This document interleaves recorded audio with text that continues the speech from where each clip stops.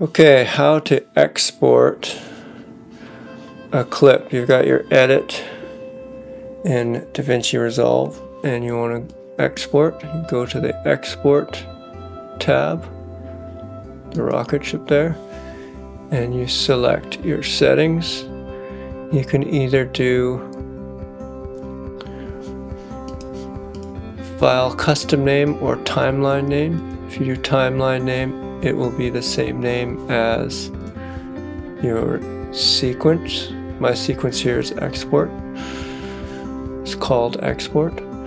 Um, for audio, you select yes. For if you have audio, for video, you select yes, and you have your different options. You hear you have QuickTime, all all sorts of different options. But for basic web, you could use QuickTime or an MP4. In this case, I'm going to use MP4 H.264 1920 by 1080.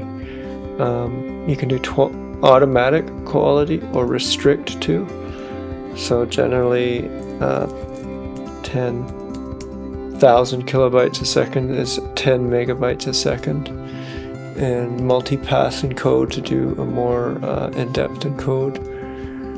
Keyframe every 24 frames, I believe I was filming at. Uh, you don't need to do this here, but it, it, it can help. Uh, frame rate 24, same as the clip.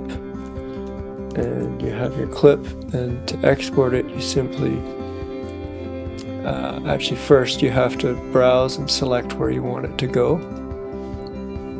In this case, I will go to my desktop, and then now you have to add it to the render queue, which is over here. So this represents the sequence that you want to export. Click render all.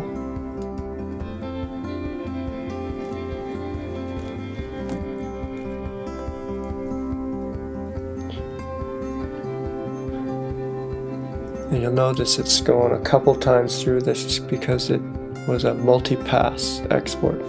And that's it. Go to your file and you have an exported movie from DaVinci Resolve.